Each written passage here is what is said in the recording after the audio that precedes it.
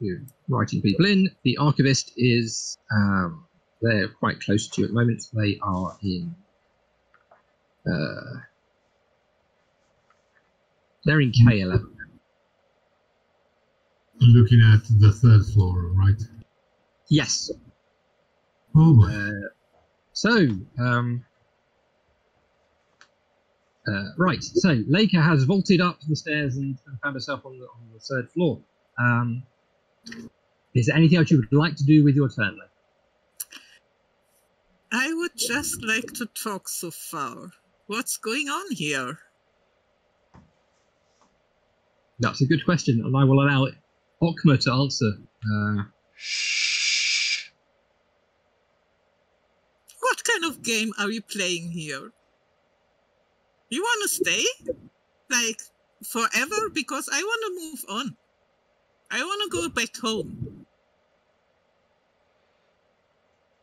Uh, well, I guess that's a good point, but I haven't had a chance to be art before. Art? uh, the archivist shouts he will be immortalized as a uh, recreation of the finest artworks of the ancient. It will be rather an, alive. What do you mean, immortalized? Like them. yeah, actually, you know, I, I I think speaking of thinking, I, I Akma may put two and two together at this point. Say, wait a minute. And I'm, I'm not sure I really thought this all the way through.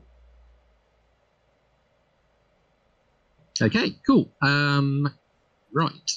Uh, Lake, is anything else you would like to do?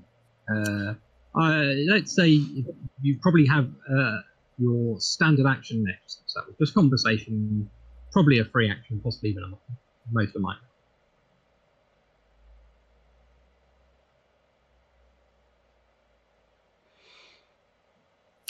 Given the fact that the archivist is making art of Okma, I'm probably going to employ the freeze ray. Just because it seems appropriate. That's I fine. would like to make some kind of art of him. That is Okay. fine. And I'm probably going to offer up a comment about that. So you like art?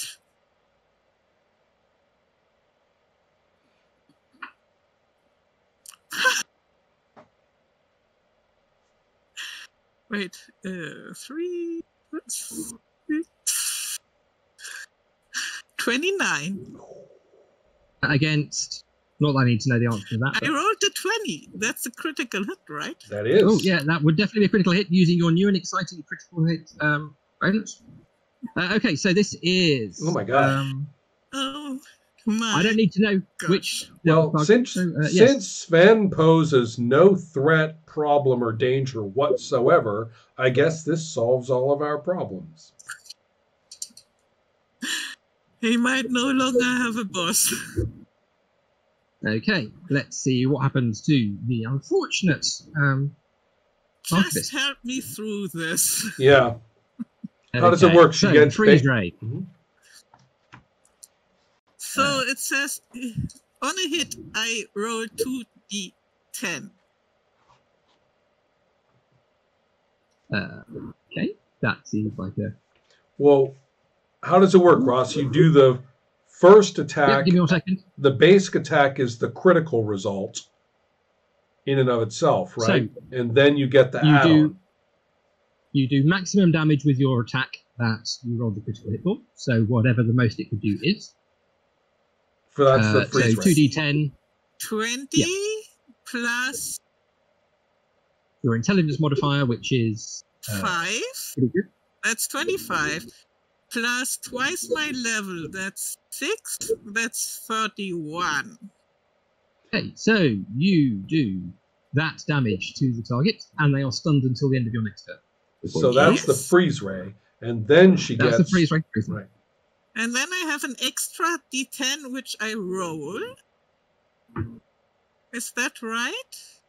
Uh, let's have a quick look. Uh, so your critical. You went with the uh, telekinetic one, or the no, you went with the doppelganger one. Yes. Okay, uh, so you do an extra one d10 damage, uh, and you get to use double trouble, so you can duplicate yourself. That's 37 in total for damage. And Well, wait. I don't know if that does that add to the damage, Ross. oh, does it does it add Or to the it- Yes, damage? that would. Yes. okay. So that's So- 37 in total. So seven ten. Okay, cool. Right. Uh,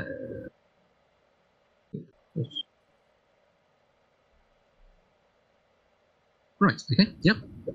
Uh, the archivist is severely damaged and battered, and uh, we'll describe that more in a, in a moment. Um, possibly. Hmm, interesting choice of words.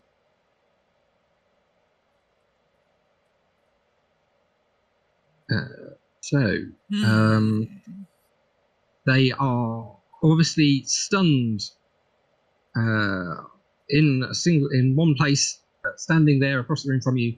Uh, something weird and strange shimmers and flickers about them as they um, uh, stand there looking archivisty and possibly not quite so archivisty. I don't know. They're weird visual effects are happening.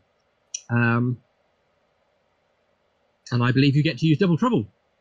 Yeah, and I'm a little bit tempted to show up next to Sven again. Um, so how many squares is it downstairs? Good question. Um, so Sven is one, two, three. Uh, Sven is about four squares away from you as the crow flies. I don't think, uh, in terms of using that power, it cares that you'd have to go down the staircase, deal with the uh, additional distance that that counts as. So you can certainly put uh, your doppelganger next to Sven downstairs, floor below, somewhere like uh, let's say Sven was in uh, G14 on that map. Um, so you could certainly put your doppelganger in any square ne- next to that if you wanted to.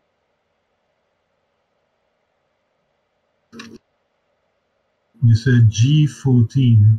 And that's Yes. the middle level. Yes. I will describe that more in a bit more detail later on, but only because I quite like the fact that the, thing in the middle of the room is a uh, uh, one of those machines you get in a um, dry cleaners with loads of like things perfectly preserved in dry cleaning bags hanging. Ah. Um, anyway, ignoring that for a moment. Um, Sven's in G14. Uh, Geiger will put on the map in a minute, but he'll probably be fairly close to there if you want to be. Um, I was And- thinking something like H11 or something like that. H11 works for me. Makes sense. Close enough to the showers. Uh, so, uh, Laker, uh, Doppelganger appears somewhere like. Uh, it's up to you, Helmer, but I imagine something like G or H13. Or you could be at the bottom of the stairs if you prefer, which would, I suppose, be uh, H14. So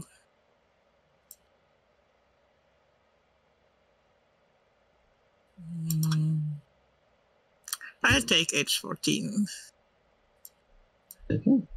Uh, Geiger, can you repeat where you were? H11. Do not stay too close to him. Here, I can't change that right now. It isn't me, Geiger. Don't worry too much. Okay, so the doppelganger appears there and gets its own turn in just a moment. Um, I don't think.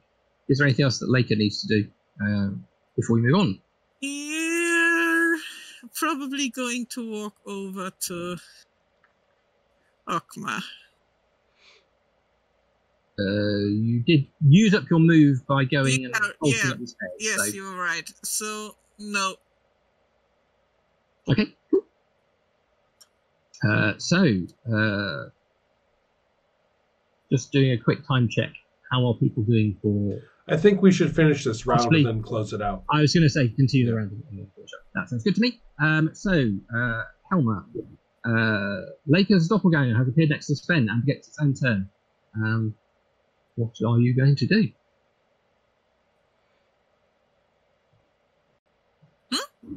Sorry, uh, your your doppelganger has appeared next to Sven, and I believe it gets its own turn immediately after you, so it goes, it goes next. Mm, you I'm probably going to Actually.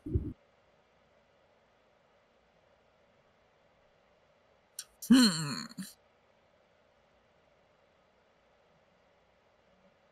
He's just going to pick up a knife Okay.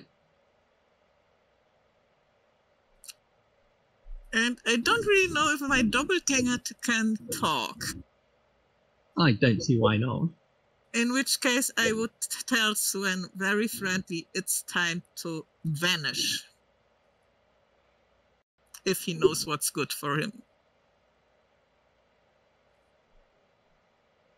Uh, I think Sven is probably glaring at in confusion at your reappearance. I absolutely hope so. Okay, so it sounds like Sven is being attacked. yes, you could call it that. Let's see how my doppelganger fares.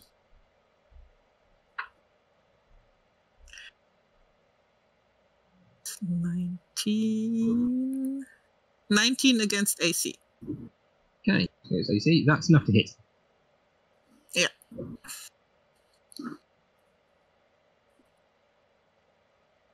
That's okay.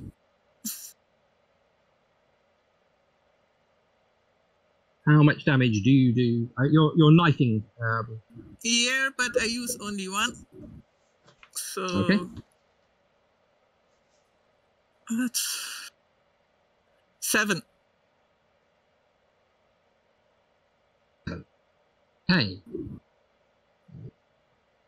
Just poking him a little bit. yes, uh, the knife uh, stabs in and bounces off, and you can see sparks flying off the metal underneath his phone. Um, Noted. okay.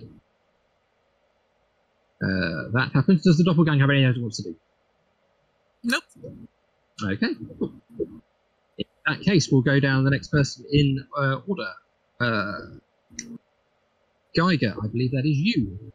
hmm Well, Geiger tells uh, Sven, "Hey, toaster, catch!" And I throw in the grenade, like passing it, so that he catches it in- his hands, and then kaboom! Oh, okay. So it's level plus six versus reflex. That's a total of nine. Okay. Um, twenty-six versus reflex. That's enough to hit the android. Sorry, the hit Sven. Yes. 2d10 plus my dexterity modifier, which isn't much, I think, but it's still.